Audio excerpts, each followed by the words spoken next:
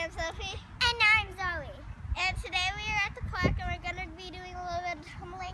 Maybe at the end a little bit of skidding, like going on the playground. But yeah, we're just going to be kind of doing gymnastics and playing around the park at the same time. And your dad's going to be phoning us on the phone at the same time. So we're just going to be playing around the park. So let's go to the playground.